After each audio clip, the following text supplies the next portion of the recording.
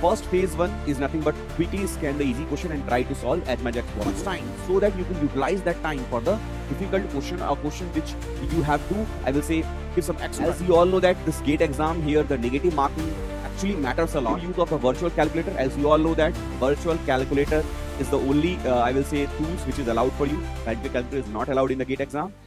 Hello students, I hope you all guys are preparing very well for GATE 105 exam. Now it's last week preparation left for you.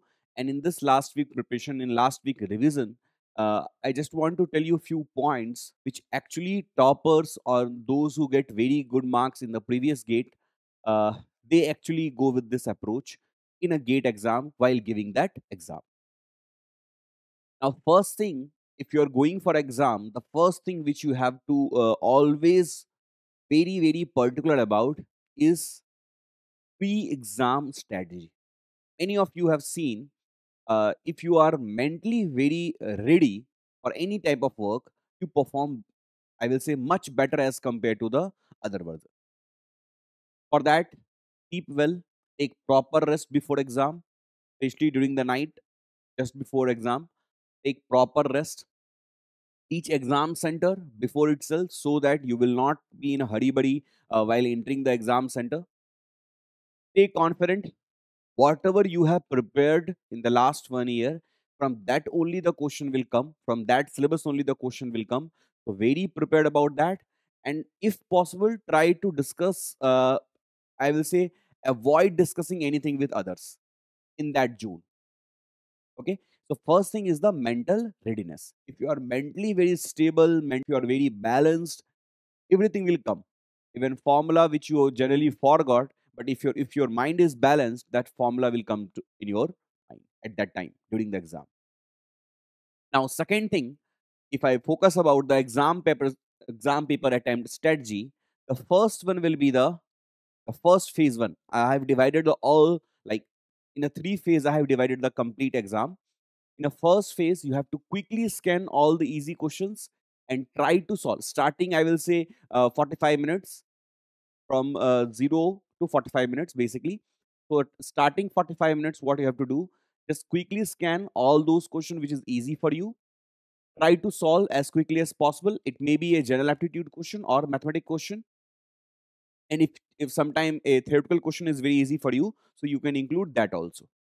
So first phase one is nothing but quickly scan the easy question and try to solve as much as possible. And in this phase one, try to take minimum time to solve any question. Because whatever time you are uh, saving right now in this phase this will be useful in other phase. I hope you got the point. For example if a problem is very easy for you you have already know the approach and all you takes very less time to solve that question. Okay? So this is the phase you have to save too much time so that you can utilize that time for the difficult question or question which you have to, I will say, give some extra time to get the answer. Second phase is the medium level question. That is the next 60 to 70 minutes. You have to focus on that. Those questions which you uh, feel, uh, I can solve this question, but it will take time. Are you getting my point? Those type of question uh, which you see in the exam, and you say in your mind that okay, this question is something which I can solve, but it will take some time it will uh, use some uh, more concept which is lengthy for me right now. So in this part, you have to solve that question. Now the third phase is the tough and the lengthy questions. The next 40 to 50, uh, 40 to 50 minutes, you have to focus on those questions which you feel it is very difficult. Some of the questions you know the approach also, but we are not confident about. So these type of question you have to target in the last phase, that is phase three of your exam. So that if at all, if this question takes some extra time for you, uh, you can easily uh, devote that time. And if at all, if you are not able to get the right answer for this question, and I will say the if you are not able to get the right approach for any particular question, that that wastage of time will not create a panic situation for you. But if this type of question, if you solve in the phase one, and if you are not going to get the right answer for that, it will create a tension for you. It will create a panic situation for you. Sometimes some student gets very demotivated that I am not able to uh, get the very good mark in this gate exam. And in that case, even though it's just only one problem, but they actually forgot that part and they completely, completely get very low mark in the gate exam. And that is something which I don't want it happens with any of my students. I don't want this to happen in, with any of my students. So those questions is the uh, for those questions you have to give time only in the last time of your exam. Okay, that is clear to all of you. Then the next thing will be the uh, this time management for the gate paper. See, this time management can vary uh, from one to one. This is something which I am giving a random, I will say, uh, which is maybe suited for me, but may may not be suited for other. So in that case, this is just a general, I will say the time management part which I have given to you. Like starting general aptitude part, those who are very good in general aptitude, they can start with the general aptitude, 15 marks, 20 to 25 marks uh, minutes you can devote for that. Engineering mathematics, again 15 marks, again 30 35 minutes you can devote for that. Core civil engineering subjects, around 70 marks. 120 minute you can devote for that. And the last is review and correction because see, uh, sometime uh, you forget to put the answer. Sometimes you forget to use a wrong uh, uh, i will say the forget to use the correct uh, si unit. For all these things the review and the correction time you can devote. Okay. Now as you all know that this gate exam here the negative marking actually matters a lot so always try to get either right answer or if you are going for 50 50 or 60 40 type of thing so in that case always try to cancel out all the points which you feel all the options which you feel it's wrong. Like out of four option if you don't know the right option try to clear try to remove those options which you feel it's completely wrong are you getting my point so instead of finding the right option find the wrong option sometimes this approach will help you to get the right answer. Okay. So basically what I'm trying to say, if you are confident about that answer, then only you, uh, you go for, uh, I will say the option selection. If you are not confident, wait for some time while review and correction time, which is the last time which I have given to you, last phase which I have given to you. In those time, just put that question in a review uh, mark and in the last in the last moment, the last half an hour, revisit that question. If you're still getting the same answer, you can put that as a right answer. I will say if you are 90 and 10% or 80 or 20% confirmed about the answer percentage, I will say the right answer percentage, then only you uh, select that option. Otherwise, many times what happens now, many of students are getting low mark because of the negative mark. Because they have randomly picked all the options and uh, uh, like if they are only 40% confident only 30% confident then also they are putting the uh, uh, i will say then also they are picking the options.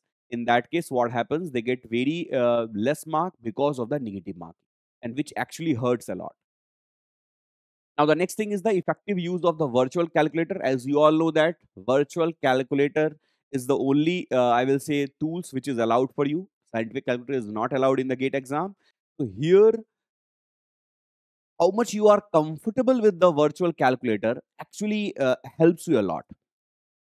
Some of you who have practiced very, I will say, so much practice they have done with the uh, virtual calculator, they know some short tricks also. They, they, they can do calculation very fast compared to the other. So it, it saves a lot. Like it, it actually saves a lot of time compared to other students.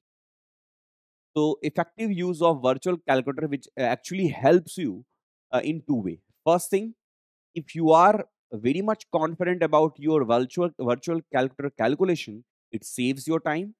Second thing, if you are very much confident about the virtual calculator calculator answer, you will not get any second thought about your answer. Whatever you have calculated, you feel, huh, this is the right answer. Generally, this happens with many of you because they are very much comfortable with the scientific calculator. So if the first time or maybe uh, second or third time, if they are doing with the virtual calculator, they will not feel comfortable. I will say they will not feel confident about their own answer. Oh, they, they, they thought, oh, maybe I have done some wrong in the virtual calculator, like uh, while using the virtual calculator. So this something you this this type of second thought actually uh, not good for you because this will uh, actually ultimately it will leads to a confusion while selection o- while selecting a option and it actually uh, wastes your time also so this is something you have to take care of okay the next thing is the last uh, last last 10 minute tips which is double check your answers ensure you haven't missed any easy questions. Verify calculation in especially in a numerical uh, ability question numerical answer question. Uh, here chances of mistakes like uh, up to two decimal or up to three decimal type of error na, you generally do. So check that. Units always check two times. Uh, sometime some of a student they don't read the question properly so that is the one of the mistake which I, I which, which I always say to avoid that mistake as much as possible. And I will say 100% avoid that mistake because that mistakes will hurt you a lot. If you have not completely uh, read out that question, that is something is something which is going to hurt you a lot after gate exam. So that I will say everyone don't do that, that that type of mistake in the exam. Don't change answer unless you are absolutely sure. Are you getting my point? These are the last minute tips which I uh, which I want to give to all of you. The final takeaway from the toppers talk, or I will say the from the topper strategy. Attempt sure shot question first. Build confidence early. That is the reason why in a phase one I have told you to solve as much as like as much as possible those questions which you feel uh, okay I can solve this question within a minute. You are very much confident about that problem if you see in a first phase, especially in a first and second phase, if you solve like more than 40 questions or more than 45 questions in that in that in that condition, you will be very much confident to tackle even a heavy problem, even a very difficult problem. And chances of getting the right answer for that difficult problem will increase, I will say, two times, sometimes three times also and that is the beauty uh, of if you if you solve like 40 to 50 40 to 50 question uh, or maybe 40 question in the first phase and the second phase. Combined way. Next thing is that manage time wisely. For that uh, phase 1 phase 2 phase 3 strategy will help you. Uh, keep calm and focused. Avoid panicking during the tough sections. For that reason only i told you don't solve a lengthy problem or the problem which you feel difficult or the areas which you are not confident about uh, confident about from those area if any question comes don't try to solve in the first phase okay? Practice mock test with the time constraint before the exam. Those who feel uh, i am not able to uh, put myself in this time management skill what you do before exam two three mock tests you try to give and try to follow this pattern which i told you okay before uh, before going to the exam you have time. So two three mock tests you can give. Just follow my pattern which i told you phase 1 phase 2 phase 3 and accordingly distribute the time. Last last 20 minutes is for revision and uh, i will say the revisit all the review questions. These all things which you have to do. So i hope uh, this is clear to all of you and thank you so much all of you for, for watching this session. And if you have any doubt regarding this strategy or if you have any doubt other than that any topic you can definitely comment me. You can discuss those part on my telegram group also. So this is my telegram group. This you all can discuss all your queries regarding sir pw okay? You can simply search Mrigang Sir PW uh, on Telegram. You will get this group. Here you can discuss even if you want to slightly change with this uh, strategy or if you have any doubt related to this strategy, you can definitely discuss with me and try to discuss before exam itself so that accordingly you can implement also.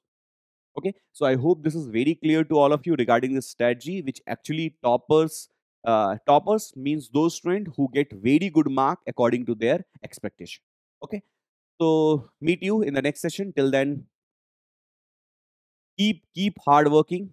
It is the last moment where you have to succeed, and definitely you all are going to get very good mark in a GATE 25 exam. So best of luck all of you for GATE 25 exam. We'll meet definitely another session. Until then, take care all of you. Bye bye. Jai